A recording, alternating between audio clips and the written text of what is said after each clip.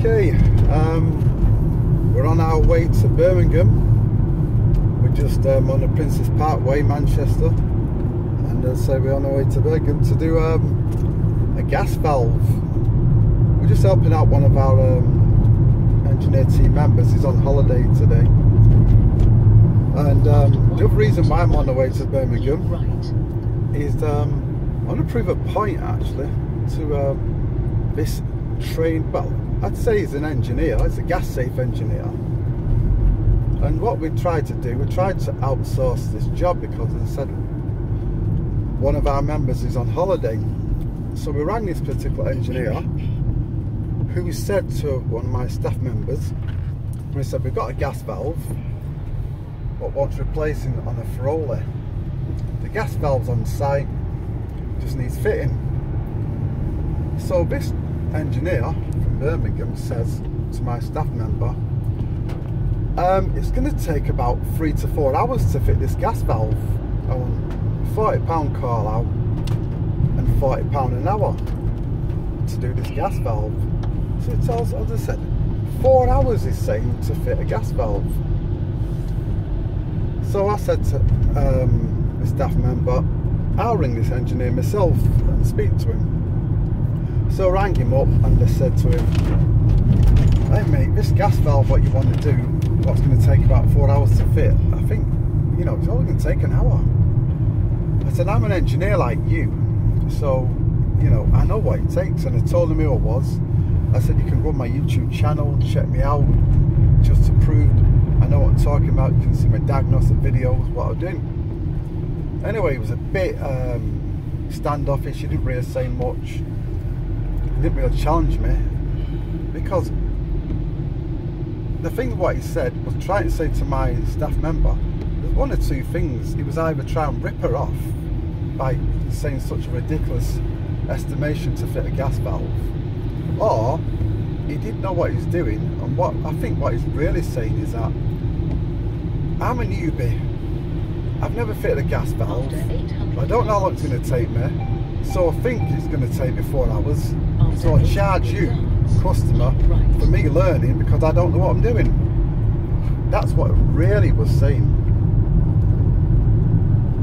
So I said to myself, you know what? There must be loads of guys like this person who's just gas safe registered um, and now going out there on their own, chancing it right. doing jobs, what they're going to screw up, tell people bad information, um, rip them off, do all sorts of drama, and this is what the customers are going to have to endure.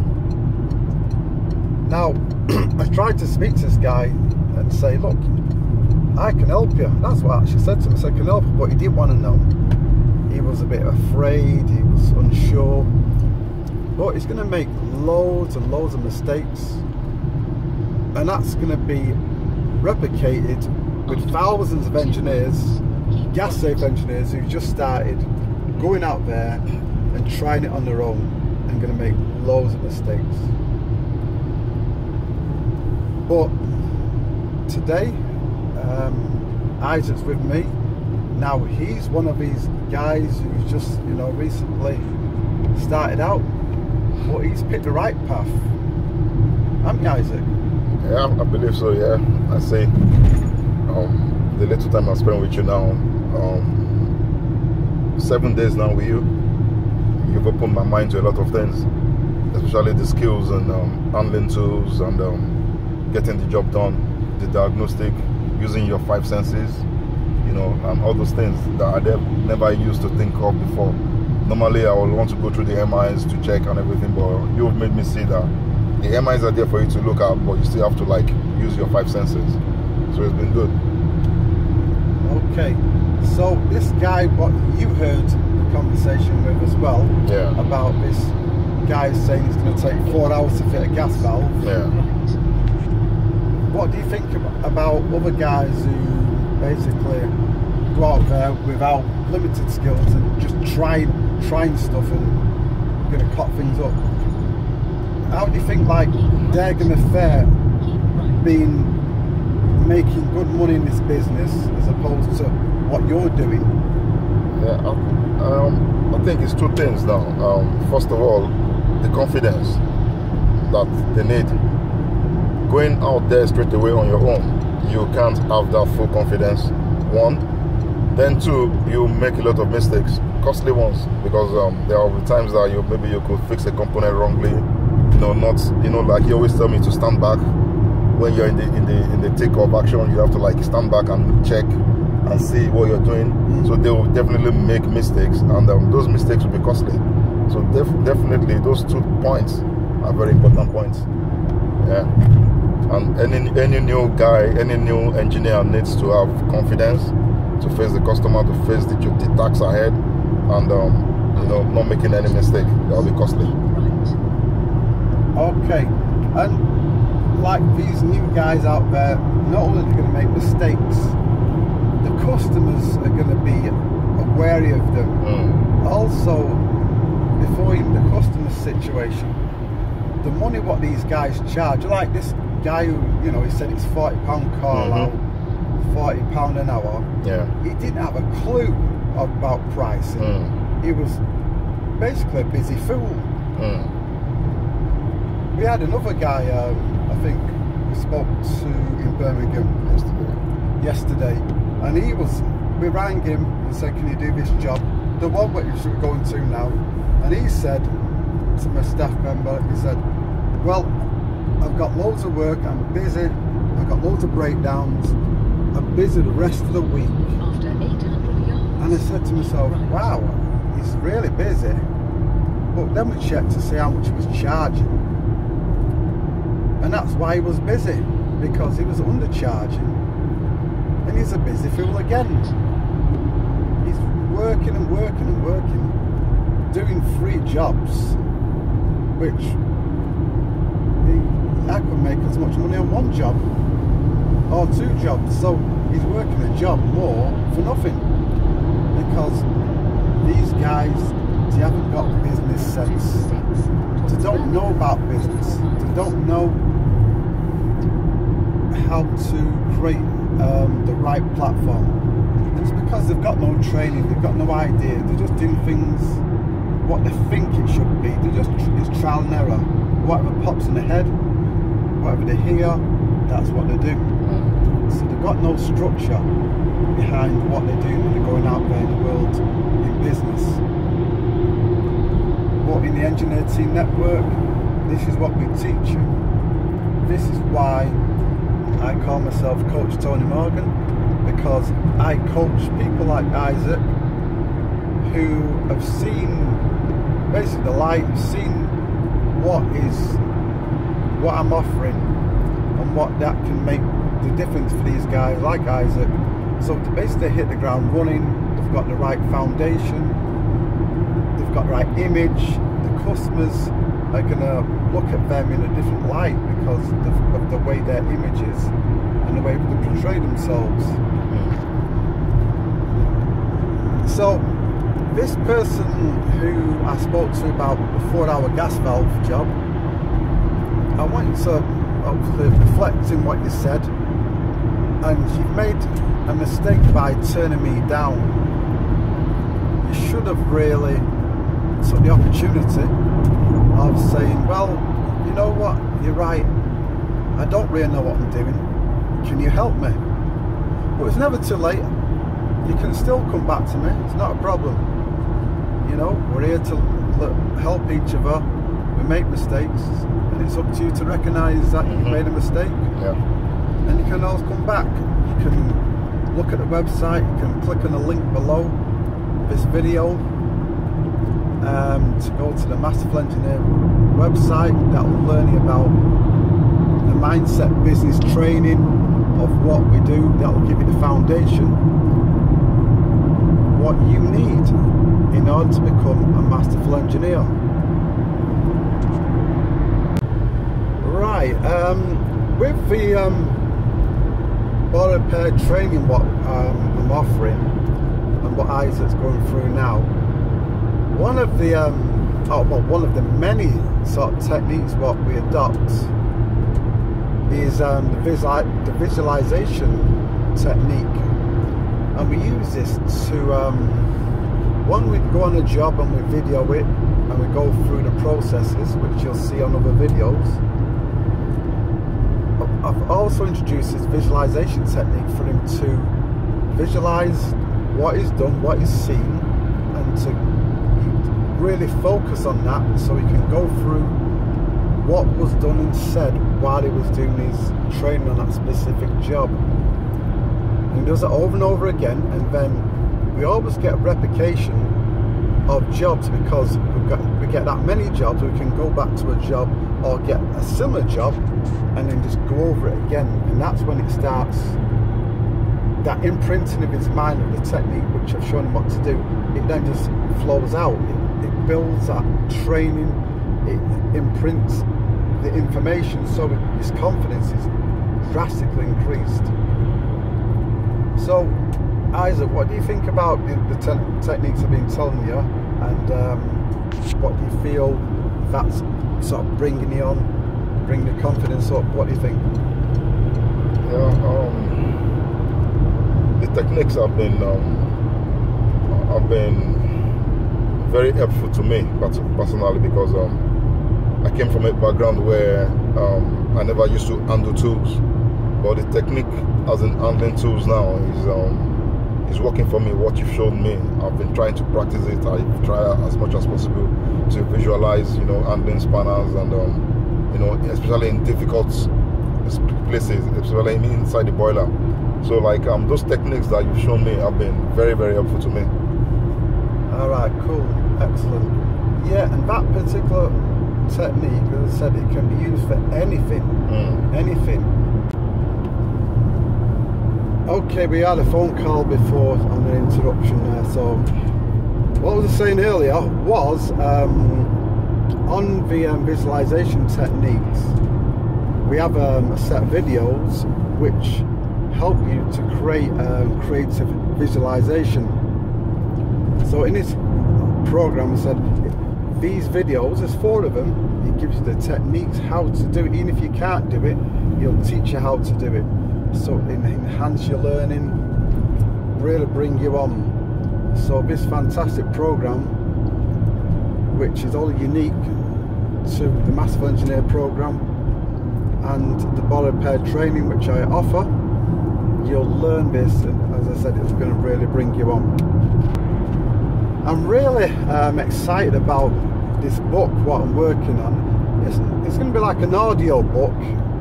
I mentioned it already, and it's also going to be like a, vid- a short video series. And as I said earlier, I'm really excited about this because me and my um, co-writer, who's going over it, um, doing work on it constantly, and it's coming to its the end of the draft, what we've been doing. I've been reading through it and I'm totally blown away with what I've now sort of created. The level of sort of um, the intelligence, the the bandwidth of information. It was like it's been written by some sort of professor or someone with a PhD, someone who's super intelligent and I can't believe I've written this. The information what you're going to listen to or watch me, the words come out my mouth, you're going to be really, really shocked. Because I said the level of intelligence is way beyond comprehension, and I can't believe I've written this. However, I can see how I've done it, and how I've done it it's quite easy really because over many many years I've gone from the average person the way they think and the beliefs and everything what they sort of immerse themselves in which is just social media chit chat what I learned from a young age and that's all I've sort of basically been involved with like most people do but what I've done, I've come out of that. I've gone into um, personal development, self-help, um, listen to thousands and thousands of minutes of audio books on personal development, self-help, people who've got, you know, loads of wisdom, and I've learnt from all this, internalized it. It's given me the knowledge and vision to now me write something like this, which you're gonna listen to yourself, and that's where it's come from. And people out there, you can be the same, and I'm going to show you that in the book. You're going to see that the things what we do on a daily basis, we don't we do it without thinking. We do it automatically because we we've trained ourselves like that. We're programmed like that because that's all we see and do. So it takes something, something maybe like what you're going to hear about and see in this book might make you think differently and make you think that wow, it makes sense and look at things different, look at life differently. And then you can start building from there and start growing. And this is why, you know, I call myself a coach because I've gone through the dark side of life and the things what what wasn't working for me. Now I've adopted these success principles, the way of thinking, how successful people do things, how to think. And there was a conversation what I just had with a customer uh, a few minutes ago, which um, Isaac witnessed the conversation. And Isaac, just wanted to sort of um, share with people listening of what you gleaned from the conversation, how it all went, what you think, you know, from, from your perspective of me being who I am and how we engage in the phone and how the conversation went, the job went. What do you think? Just give some feedback. Yeah, um, from what I've observed when you talk to customers, particularly this um, customer you just spoke to just now, I observed that on consistent basis you always um, put your people skills to use your, your, your charisma you make it um, very very prominent. And um, you have a way of um, making the conversation go your way. You you ban you banter around with them. You make them feel at home. You make them feel relaxed when they're speaking to you. But the main target the main goal that you want is um, getting the business. You always make sure that even after all the jokes and everything, you go back to the reason for the call, you get the job, and you always give them a recap so that there won't be any mistakes. You know, in like you you recap what you've discussed with them, so that they are clear, and you yourself you are clear, and um, everybody is happy, and um, that's it. So you always put out your charisma, your people skill, you put it you put it to use now and again. Okay, you said now and again. Is that not every time? Yeah, as in continuously, persistently. Yeah. Exactly, yeah. And it's because I've practiced it. I've practiced it over and over. I realised it many, many years ago that um, I'd said a couple of words and I got the same result and I started noticing that and I thought, wow, everyone's reacting the same way. And that's when I started to notice what was going on and I built from that. And as you said, I use charisma, I use my people skills, I use who I've become. I wasn't that before. In the, in the early days, I wasn't that. Because as I said, like we do, we just do things. We don't know what we do, we just do them. We don't think about them, just do them. But now I realised there's actually a method, there's actually a, a technique, a way of doing things to get things to go your way. And anybody wants to get things going their way. Who doesn't? You tell me, you want someone, things to go against you? You want things, people to put the phone down on you? You want people to shut the door in your face? I don't think so. Anybody on the planet wants things to go their way. And that's exactly what business is about. We're in business to make money, we're in business to get customers. Guys will say, yeah, I get business already. Yeah, I don't need your skills. I do all well. But I'm not disputing you don't. But you could do things better. And in continuous learning and development, that's what it's about. You never, ever got it, you're always getting it. You're always improving. It's a continuous learning cycle.